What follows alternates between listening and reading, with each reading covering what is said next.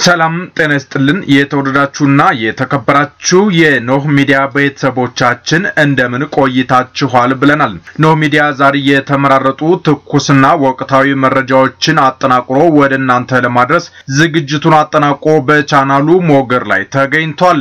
ዛሬ አብራችሁን ከኛ ጋር ስትዘልቁ የመሬት ነክ አገልግሎት በአዲስ አበባን የተመለከተ መረጃ እናደርሳችኋለን። የኢትዮጵያ እግር ኳስ ፌዴሬሽን ይቅርታ ጠይቋል። ፌዴሬሽኑ ይቅርታ የጠየቀበት ምክንያትና ዘርዘር ያለ ጉዳዮች ይደመጣሉ።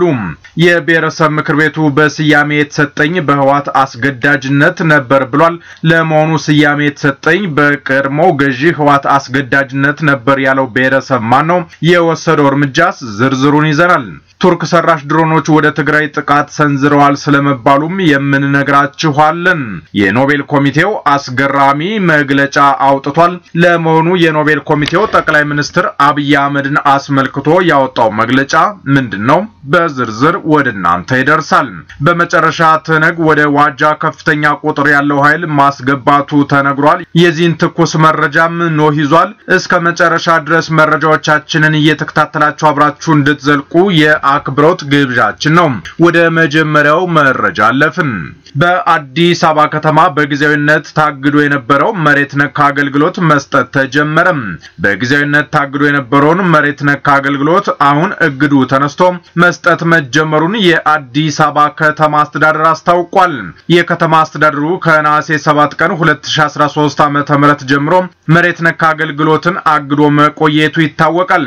ጊዜያዊ እግዱ አሁን የተነሳ በመሆኑ አገልግሎቱን ከጥር 13 2014 ዓ.ም ጀምሮ በየክፍለ ከተማው ማግኘት እንደሚቻል መገለጹን ከአዲስ አበባ ኮሚኒኬሽን የተገኘው መረጃ ያመለክታል። ታግደው ከነበሩ አገልግሎቶች መካከል ጊዜያዊ እግድ የተነሳላቸው አገልግሎቶችም ሕጋዊ ሰነድ ላላቸው ይዞታዎች ብቻ ዋስትናና ዕዳ መመዝገብ፣ የፍርድ ቤትና የባንክ እግድ የመመዝገብና የመሰረዝ አገልግሎት፣ የስመ ንብረት ዝውውር ስራ፣ ለነባር ይዞታዎች የቦታ ኪራይና የቤት ግብር ተመን፣ የንብረት ግመታ፣ በይዞታ ይገባኛል ክርክር፣ በፍርድ ቤት ትዕዛዝ ማስረጃ መስጠት፣ የወሰን ይመላከትልኝ ወይም የወሰን ችካል፣ በከተማ አስተዳደር የሚታወቅና ቅድሚያ የሚሰጥ የልማት ተነሺ አገልግሎት፣ የቦታ ዝግጅት፣ የወሰን ማስከበር ተግባራት፣ በሊዝ በተላለፈ ቦታ ላይ የግንባታ ክትትል፣ የለማ መሬት በምደባ ወይንም በጨረታ ማስተላለፍ፣ አዲስ ካርታ የሚሰጣቸው አገልግሎቶችና ሌሎችም መሰሎች መሆናቸው በመረጃው ተጠቅሷል። ኢትዮጵያ በአፍሪካ ዋንጫ ባሳየችው ደካማ አቋም የኢትዮጵያ እግር ኳስ ፌዴሬሽን ይቅርታ ጠየቀ።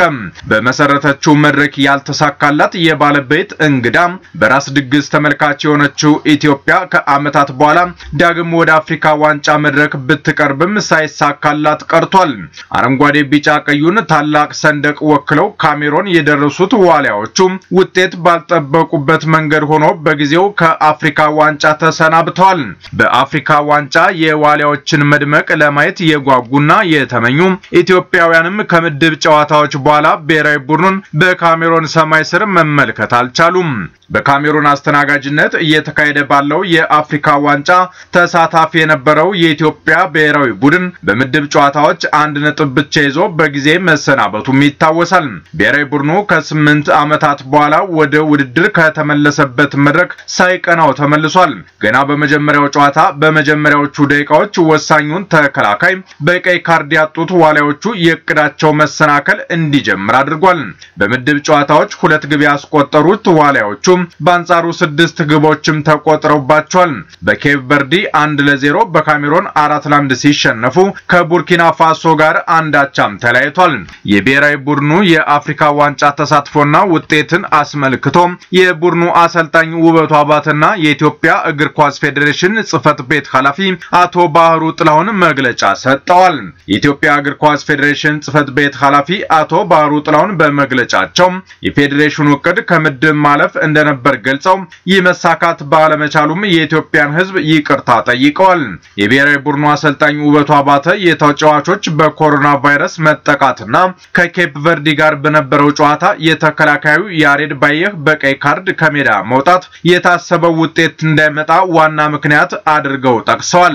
ብሔራዊ ቡድኑ ከውድድሩ በፊት በርከት ያሉ የወዳጅነት ጨዋታዎችን ለማድረግ አቅዶ እንዳልተሳካም አስታውሰው ይህም ለውጤቱ አሉታዊ ተጽዕኖ ማሳደሩን የገለጹት ብሔራዊ ቡድኑ የተገኙትን የግብ ዕድሎች በመጠቀም በኩልም ክፍተት እንደነበረበት የተናገሩት አሰልጣኝ ውበቱ ይህ ደግሞ ከተጫዋቾች የልምድ ማነስ የመጣ ነው ብለዋል። የአፍሪካ ዋንጫ መስራቿ ኢትዮጵያ ከካሜሮኑ ድግስ በጊዜ ተሰናብታ ሌላ የአፍሪካ ዋንጫ እንድትጠብቅም ተገዳለች። የበርታ ብሔረሰብ ምክር ቤት የብሔረሰቡን መጠሪያ ስያሜ ቤኒሻንጉል ተብሎ እንዲጠራ ወሰነ። በርታ ብሔረሰብ ምክር ቤት ከ1983 ጀምሮ በህዋት አስገዳጅነት እጠራበት ነበር ያለውን ስያሜ ቤኒሻንጉል በሚል እንዲተካ ወስኗል። ብሔረሰብ ምክር ቤቱ ስምንተኛ መደበኛ ጉባኤውን በኩርሙክ ወረዳ አካሂዷል። በጉባኤው ለምክር ቤቱ የበርታ ብሔረሰብ ስያሜ ለመቀየር የቀረበ የህዝበ ውሳኔ መነሻና ሳይንሳዊ ትንታኔ በሚል ርዕስ ጉዳይ በአሶ ሳ ዩኒቨርሲቲ ምሁራን የተጠናው ጥናት ቀርቦ ውይይት እንደተደረገበት የክልሉ ኮሚኒኬሽን አስታውቋል። በጥናቱ ሰፊ ውይይት ያደረገው ምክር ቤቱ የብሔረሰቡ መጠሪያ ስያሜ ቤኒሻንጉል ተብሎ እንዲጠራ መወሰኑም በመረጃው ተመላክቷል። በቅርቡ ወደ ትግራይ ክልል ጥቃት ሰንዝረዋል የተባሉ ድሮኖች ቱርክ ሰራሽ መሆናቸውን ፖለቲኮ ዘገበ። መቀመጫውን አሜሪካ ቨርጂኒያ ያደረገው ድረገጽ ይዞት በወጣው ዘገባ ይህንኑ አዲስ አገኟቸው ካላቸው የሚሳኤል ቁርጥራጮቹን የሚያሳይ ፎቶግራፍ ምርመራ ማግኘቱን ያመለከተው በትግራይ ክልል ሰሜናዊ ምዕራብ በምትገኘውና የኤርትራ ድንበር አቅራቢያ ባለችው ደደቢት ከተማ በሚገኝ ትምህርት ቤት ታህሳስ 29 በእነዚህ ድሮኖች የአየር ጥቃት ተፈጽሞ ከ50 በላይ በውስጡ ተጠልለው የነበሩ ንጹሃን ሕይወት መቅጠፉን ከረዴት ሰራተኞችና ከትግራይ ክልል መሪዎች በኩል መነገሩ ተጠቅሷል። አንድ ዓመት በተሻገረው የትግራይ ጦርነት የኢትዮጵያ መንግስት ድሮኖችን በስፋት መጠቀሙ በስፋት የሚነገር ቢሆንም ድሮኖቹ ስሪታቸው በይፋ አልተገለጸም። መረጃዎቹ ይፋ ባያወጧቸውም መንግስት በቅርብ ጊዜያት ከቱርክ በተጨማሪ ከኢራንና የተባበሩት አረብ ኤሚሬቶች መግዛቱ ይነገራል። ከዚሁ ጋር በተገናኘ በህዳር ወር ወደ አዲስ አበባ እየገሰገሱ መሆናቸው ተነግሮ የነበረው የህወሓት ኃይሎች ከቀናት በኋላ ወደ ኋላ ማፈግፈጋቸውን ተከትሎ በቢቢሲ የተጠየቁት የህወሓት ወታደራዊ መሪ እንደሆኑ የሚነገርላቸው ሌተና ጀነራል ጻድቃን ገብረ ትንሳይ የድሮን ጥቃቶች አስተዋጽኦ እንዳላቸው ተናግረው ነበር። ፖለቲኮ ከረድኤት ሰራተኞች አገኘሁት ያለውን ፎቶግራፍ ተመልክተውታል ያላቸው ፓክስ የተሰኘ የደች መንግስታዊ ያልሆነ ድርጅትና የአምነስቲ ኢንተርናሽናል ኤክስፐርቶች በፎቶው የታየው የጦር መሳሪያ ለቱርኩ ባይራክተር የሚገጠም እንደሆነ ጽፏል። እነዚህ ፎቶግራፎች በረድኤት ሰራተኞቹ ጥር አምስት የተነሱ ስለመሆናቸውም በዘገባው ተመላክቷል። ፖለቲኮ የድሮኖቹን ጉዳይ በተመለከተ በኢትዮጵያ ለተመደቡ የቱርክ ዲፕሎማቶችና የኢትዮጵያ መንግስት እንዲሁም ለመከላከያ ሰራዊት ቃል አቀባይ ኮሎኔል ጌትነት አዳነ ጥያቄ አቅርቤ ምላሽ አላገኘውም ብሏል። ድረገጹ ይህንን ይበል እንጂ በተደጋጋሚ ለህወሓት የሚወግኑ መረጃዎችን በማውጣትም ይታወቃል። የኖቤል ኮሚቴ ሰብሳቢዋ ከጠቅላይ ሚኒስትር አብይ አህመድ ጋር በተገናኘ አሁን የተፈጠሩ ሁኔታዎችን ቀድመን ልንገምት አንችልም ነበር ሲሉ ተናገሩ። የኖቤል ኮሚቴ ሰብሳቢ የሆኑት ቤሪት ሬስ አንደርሰን የሚመሩት መንግስት ከህወሓት ኃይሎች ጋር ጦርነት ውስጥ ከሚገኘው ከጠቅላይ ሚኒስትር አብይ አህመድ ጋር በተገናኘ አሁን የተፈጠሩ ሁኔታዎችን ቀድመን ልንገምት አንችልም ነበር ሲሉ ተናግረዋል። ሰብሳቢዋ ይህንን የተናገሩት ከሲኤንኤን ጋር በነበራቸው ቆይታ ሚዲያው ከአንድ ዓመት በላይ በጦርነት ውስጥ የቆዩትን ጠቅላይ ሚኒስትር አብይን ለኖቤል የሰላም ሽልማት በመምረጡ ይጸጸታል ወይ ተብሎ ለቀረበላቸው ጥያቄ ነው። የኖቤል የሰላም ተሸላሚ በጦርነት መሳተፉን ከዚህ በፊት ታይቶ የማይታወቅና አሳዛኝ እንደሆነ የገለጹት ሰብሳቢዋ፣ ሆኖም በኢትዮጵያ ያለው ሁኔታ ውስብስብ መሆኑን ገልጸዋል።